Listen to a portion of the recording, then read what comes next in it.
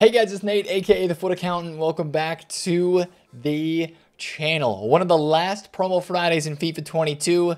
Preseason is here, and it's actually more about FIFA 23 in today's promo because we know that we will most likely be getting the chance to get some packs, coin boost, and other rewards for our FIFA 23 Ultimate Teams ahead of time. Maybe give ourselves a little bit of a head start based off of what this preseason promo has looked like in the past. But of course, there will still be content related to this game, FIFA 22, with that loading screen you saw with Shapeshifter, Shapeshifter Heroes, and TOTS cards. Definitely still going to be some sort of batch of special cards in packs with upgrades. The 85 times 10s will keep rolling, and a big Showdown SBC leak hopefully is dropping today in game with that matchup between Liverpool and Manchester United on Monday. So I want to take a look at that and more in today's promo Friday video with preseason dropping. If you're excited for a little FIFA 23, FIFA 22 kind of mashup promo, hit the thumbs up on the video and subscribe if you're new.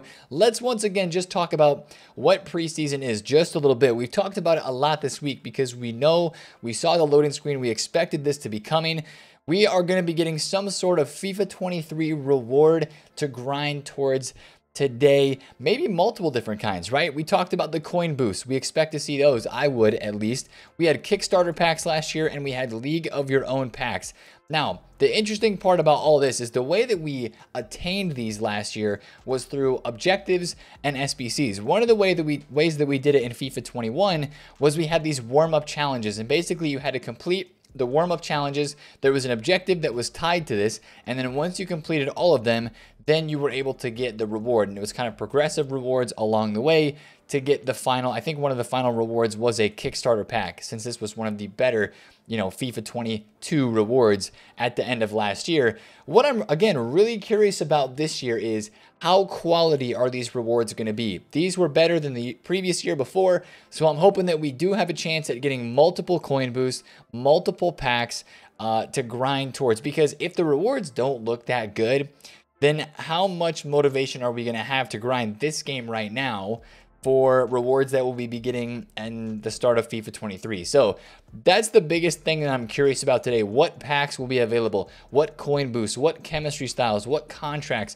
How much grind are we going to have to put in to get these FIFA 23 rewards ahead of time. So that's kind of the balance that we're going to have to find out about today. But I'm sure we'll have a web page just like this about preseason promo that is dropping today, and I'm very curious to see what that is about. That's that's honestly the biggest thing for me because that's what this preseason promo is really about is setting us up. And again, it's like the preseason for the upcoming FIFA 23 Ultimate Team. So I'm very, very curious to see what that's about. So definitely watch, watch the objectives, watch the SBCs today. We will see what the value is from the rewards that we can potentially get and just how hard it is to go ahead and get them. Now, also last year as a part of the preseason promo, we had some pretty big pack SBCs. Just like we had during footies, we had an 87 times 10 last year during preseason. We had a 90 plus times 10 88 plus player picks. Like they were dropping some really big time SBCs towards the end of the year that were giving out some really, really high rated cards. We had showdowns. Last year we had the Ben Yedder and the Guendouzi showdown.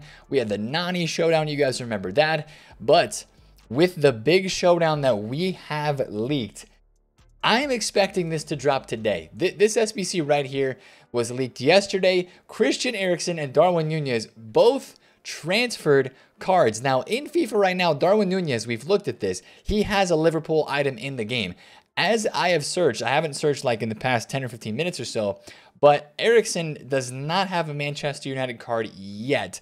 But I really feel like this SBC could be today. I mean, I think today is the perfect day for this. And as I look again in game, I do not see a Christian Eriksen Manchester United squad. But if you load into FIFA today and it says a squad update is required, that would be a clue that maybe they're adding that United Eriksen card into the game. This SBC would be perfect content for EA to drop today. A Nunez and an Eriksen. Seriously, it would be the perfect SBC. It would give us three days to do it, which is right around the normal time frame that they give us for a Showdown SBC. Now, once again, just a quick reminder, if Nunez and Eriksen does drop today, how will this go down? Well, on Monday when the game is played, whoever wins the game, that player will get a plus two. I know that people are like, man, Darwin Nunez, not even able to play because of the red card last week. Well, doesn't matter. If Liverpool win this game, which a lot of people will probably expect them to win, he will get a plus two. If that game ends in a draw, it'll be plus one for both cards. And then if a player loses, of course,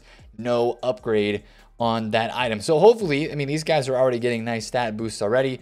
Darwin Nunez would maybe get a plus one or plus two over his TOTS card. Eriksen would get a plus three, plus two over his fantasy upgrade card. Hopefully, five star, five star for both of them. That would be great since it's late August almost anyway. And it would probably be another week from now if the SBC drops today. Uh, that's how long we would have to wait for the winner to get upgraded. Usually it's three to four days, sometimes two if EA is feeling generous after the game is played to get to upgrade. So next Monday, we're, we're probably looking at like a Thursday, Wednesday, Thursday, Friday timeframe for the upgrade on the winner of the showdown, which I think it's either today or tomorrow, 100%, because this game is on Monday. So tight time frame if they drop it on Saturday. Really think that they're going to try to drop a splash with the preseason promo today on Friday with this this SBC. So that's just kind of my opinion on the SBC content for today as a part of the start of this preseason promo related to the FIFA 22 side of things. Now, also in the FIFA 22 side of things, we are still going to have special cards in packs. As seen on the loading screen, there's still going to be plenty of opportunities to grind today. Now, the only thing that I don't like is the 82 plus player pick and a lot of these upgrade packs they're expiring today. The 85 times 5 is expiring today. Uh, well, at least it's re repeatable expiring today. I might have to do mine and then that might change. Uh, the French TOTS shapeshifters, a lot of these footies SBCs are going away. All of your upgrade packs, right? They're all going away. So that's going to make the menus and especially the SBCs in general a little bit less grindable and craftable, right?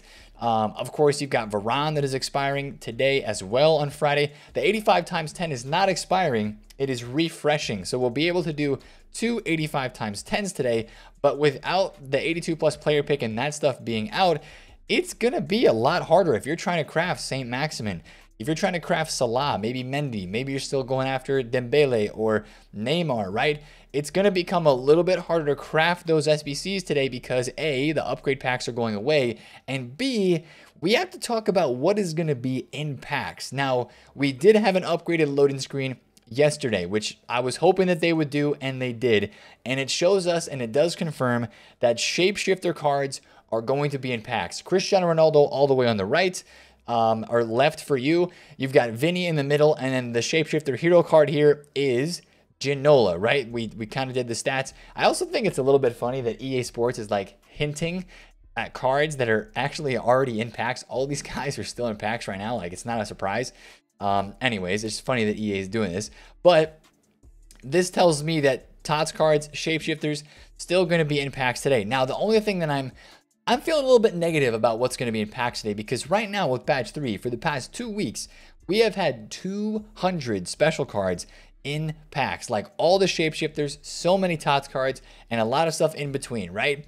I think today that they're probably going to drop it down from 200 players. I don't imagine that it would stay the same, but if it does, that would be fantastic. So I think there will be some shapeshifter cards today, and I'm, I'm trying to just th think about maybe some of them that might not be in packs. There's going to be a couple, I think, though, that will not be in packs today, not be included as a part of whatever preseason batch is dropped. So if you're looking at cards on the market today and you're saying, Nate, this promo doesn't really interest me too much. I've grinded all the, the SBCs that I want to grind. I've got the footies players that I want to get.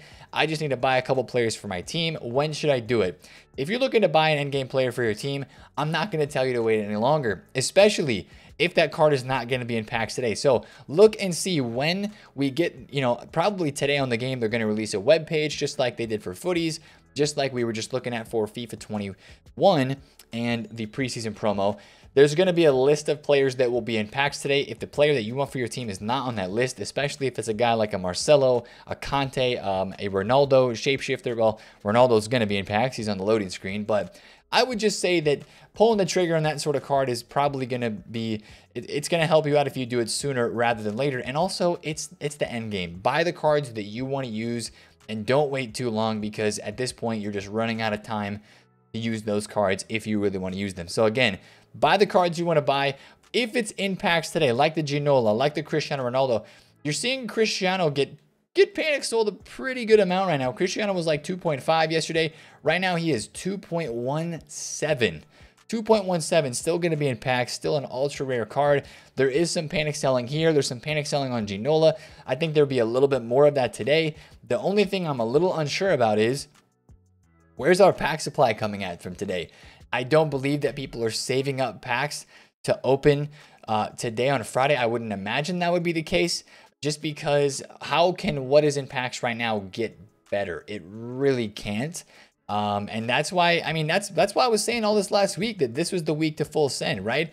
Do the SBCs you want to do, open the packs you want to open, and and really spend your coins in this last week, um, and have fun because I think it was the best week of this end game portion of FIFA that we were going to have. So that's why I think even if you're like thinking about saving your packs or if you're grinding league really fast today on Friday morning to try to get your packs done, I'd say open them before content because I, in my opinion, there's there's more special cards in packs uh, right now for batch three of footies than there will be later on today for whatever batch is released during preseason. Although I hope I'm wrong. I would love to be wrong and for EA to release the exact same cards in packs or something like that. Um, and then all of a sudden we have still 200 special cards in packs. That would be fantastic. But I'm, I think I'm a little bit hesitant on that because of how they've done things in the past with this pre season promo. So it is nice to know though that shapeshifters will be in packs, but it is a bit of a bummer again for me as we take a look at SBCs. The player picks are going away today, so if you want to stack a few of those, you know, they're going away. Hopefully they'll come back tomorrow on Saturday because I mean, if they're leaving us out here without upgrade packs to try to do Saint Max and Salah, yes, you can do the 85 times 10s and the 85 times 5s and that sort of thing. Um, but the 82 plus player picks really, really help out with crafting. And if those are going to go away, it's going to be a bummer for getting these other footies SBCs that are still lingering after the footies promo, uh, getting them done before too long. So that's just kind of my opinion there. Now, also with the content today, we've been getting objective content like crazy the past five weeks of footies. We've been getting dynamic duos. We've been getting just one-off footies favorite SBCs. We have been getting the cup mode, right? Which I just completed yesterday, the France Cup. Are we getting a cup mode today? I don't expect one. I really don't because we've had five weeks in a row of these cup modes. I, I think it's ending. I really it's a kind of a bummer because for the past five weeks we've been looking forward to these kind of you know objective modes. Maybe EA will come up with something today that will be some sort of an objective grind for either FIFA 23 packs or something related to FIFA 22 still. I wouldn't mind if they dropped another cup mode, um, but it's definitely not something that we usually see a part of the preseason promo, and it was a great addition to the footies promo this past couple of weeks. So that's one thing that we've been looking to every week that we might not have today on the game. It's kind of weird to not have that cup mode to be looking forward to. It was weird not having the vote after kind of settling into that into that footies rhythm. We're kind of going to be falling out of that, if you will. Now there is one interesting thing that was, you know, tweeted and, and added to the code earlier this morning or, or last night. It was a couple different packs and it's the same pack but there's two different ones. One is untradeable and one is tradable. It is a 583 plus rare players pack. So it's an 83 times 5 this offer contains 95 sorry 5 players rated 83 or above plus one icon moments lone player pick for 5 games a lot of times when you have that like lone moments player pick in there that means that it's a store pack so this is really intriguing to me because if this is going to be a store pack and they're going to have a tradable one or an untradeable one, if they drop just one of them, the market movements could be completely different. If they drop this one that it is tradable, you can see they're literally the exact same pack. They're just different because one's tradable and one is untradeable. And it's not the same one. They have different ID numbers, 1310 and 1311. So this is what I'm really curious about. If they drop the tradable one in the store today, I don't know how much a 83 times 5 would be, um, but I do know that that would mean whatever is in packs is going to get supplied a pretty good amount. Even some of your top tier cards that maybe are being re-released back into packs with the batch for preseason. So I would see a lot of supply there. I also think that high rated fodder would get destroyed even more and would just get supplied and supplied, even though it's already super duper cheap. That would go lower. Now, if the 83 plus times 5 is untradeable, probably would not move the market too crazy much. Now, speaking of fodder today, fodder prices are, yes, you guessed it, low. Once again, heading into this promo Friday, 3.5K for 84s, 83s are 2,000 coins a piece. That's crazy. 85s are 5K, 86s are 7K, It's crazy how low this fodder is getting.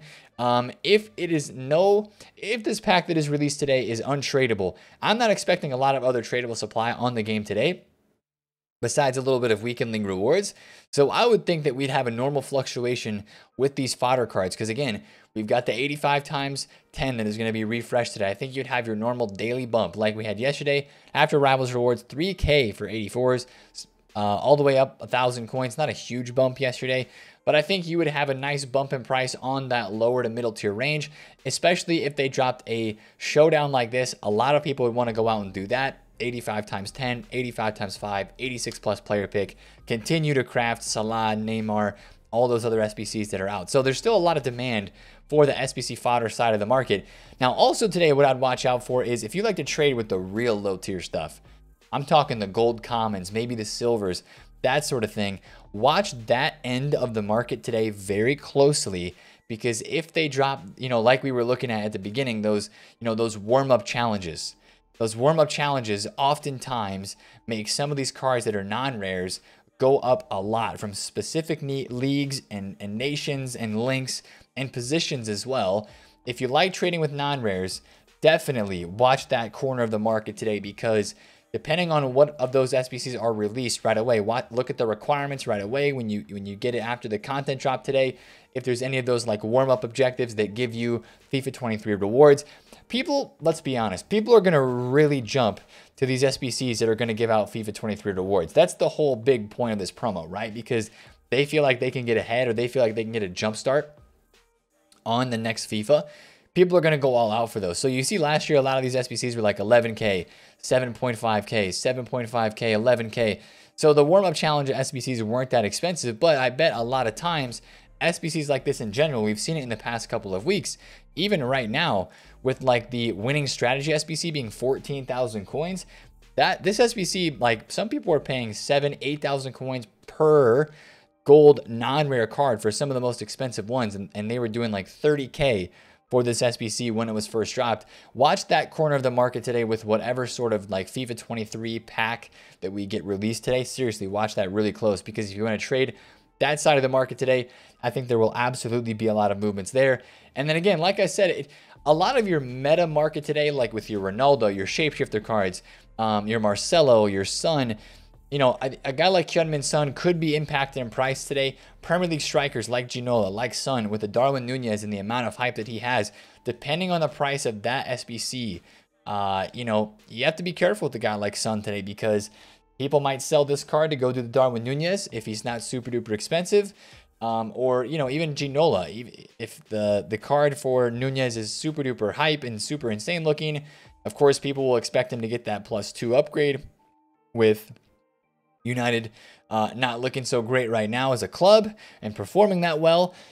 You know, they expect Liverpool to win. So that could cause some drops in your Premier League strikers. Of course, regardless of them being in packs. But if any of the cards are in packs today, you know, like the ones that we have in the loading screen, like the Ronaldo and, and the Ginola, I still expect them to have a little bit of panic selling A this morning, and B, I expect their prices to go a little bit lower. Now, of course, you could watch for fluctuations, and knowing these cards are already down so much, people are panic selling them, and if they're still really rare, you know, have an opportunity to trade with them or buy them at a low point today and then watch their price maybe rebound up a little bit. But in general, again, like I said earlier, if there's cars that you want for your team, I'm going to tell you to buy them because people are still going to go out and play weekend league. Let's be honest, right? A lot of the gameplay demand the past couple weeks has been that cup mode. Today, I think the biggest piece of gameplay that's going to be out there with demand is probably going to be FUT champs without a cup mode, unless EA drop one, FUT Champs is going to be the place where everybody goes to try to get games in. And people are going to be going out and using, building squads with these brand new footies players that they have and using them and trying them out. So I think there is demand for Weekend League, even though it is this late in the game.